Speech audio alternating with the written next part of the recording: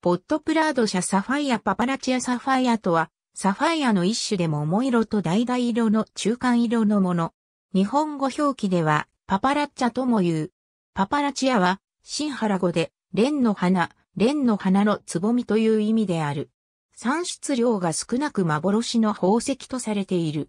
口述の人工的に色を引き出した表面拡散処理パパラチアも存在する。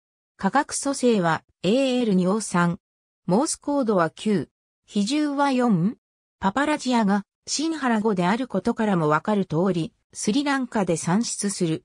桃色から橙色の中間色を示すサファイアは希少である。そのため多くのパパラチアサファイアはうまく色が出ていないサファイアに加熱処理を施すことによって鮮やかな色に仕上げている。21世紀初頭、マダガスカルで宝石ラッシュが起こったが、その際、マダガスカル産パパラチアサファイアも大量に市場に出回ることとなった。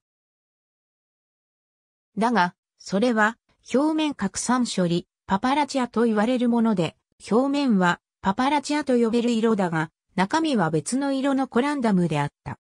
処理の手法は従来の加熱処理とほとんど変わらないが、加熱処理の最終段階である1800度での加熱時、クリソベリル粉末を加えることによって、表面の発色を元の色から別の色に変化させることができる。